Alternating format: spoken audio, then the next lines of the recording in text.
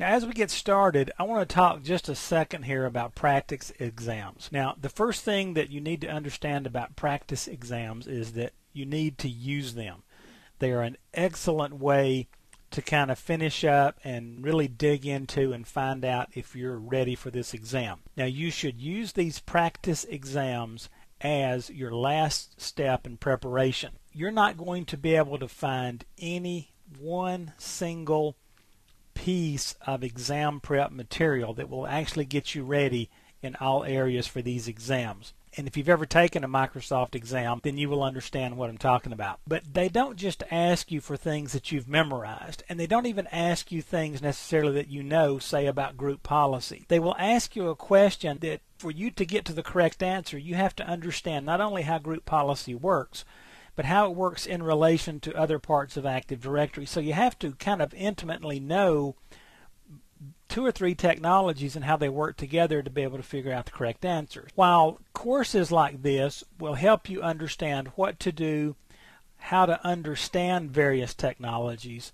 it's almost impossible to anticipate everywhere Microsoft can go with questions. There's approximately, you know, 100 million questions they could possibly ask you. Normally they're pulling from a pool of probably, you know, 3 to 400 questions, but they've been very meticulous in the way they have built these questions. So, these practice exams really, really help you. I will give you a couple of suggestions here, but I'll strongly suggest that you go out and do some searching on the internet, talk to some friends who have taken exams and see what test prep software they used. The first one is self-test software. This is at www.selftestsoftware.com. These people are endorsed by Microsoft. As a matter of fact, if you go to Microsoft's site and start looking under training and certification, you will see them listed as some suggested test prep material. Same thing for Measure Up, www.measureup.com.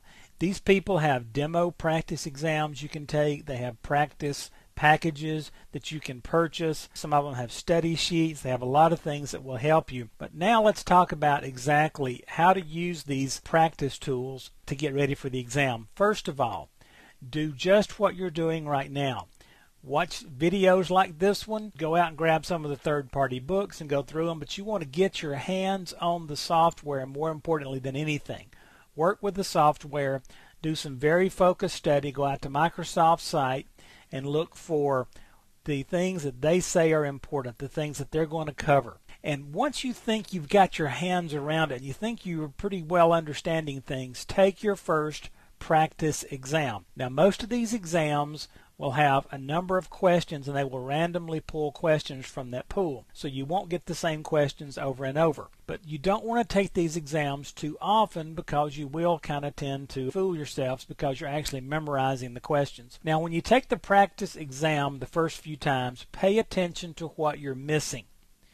Don't make it an ego game about how many I can get right watch and see the ones you're missing, pay close attention to why you missed it, and these exams will show you why the wrong answers are wrong and why the right one is right. And so you want to pay close attention there because you want to see where you're missing something. Pay attention to why you're missing the questions. Did they misdirect me? Did I get confused? Did I assume something? Do I have something confused here? About some particular technology. Don't panic. The first time you take a practice exam, you will fail it and probably fail it miserably. It's just because of the way they're putting the things together and a lot of times they'll force you to think about technologies and the way they fit together in a way that you haven't before. Now here's what you want to do. Take the practice exam the first couple of times, paying close attention to what you're missing, to where you're getting confused and then go study that stuff. Get your hands on it. Now, how do you know when you're ready? When you can take a practice exam and score 85% or above, you should be fine for the final Microsoft exam. Now, that's a generality, and it's hard to give you specifics here. But don't take this practice exam like 200 times and memorize questions. However, when you answer these questions on the exam, make it a kind of a, point to look at the answers and say, okay, no, no, no. A is wrong because. B is wrong because. Because you can't have ASP.NET on server core, right? Those kinds of things.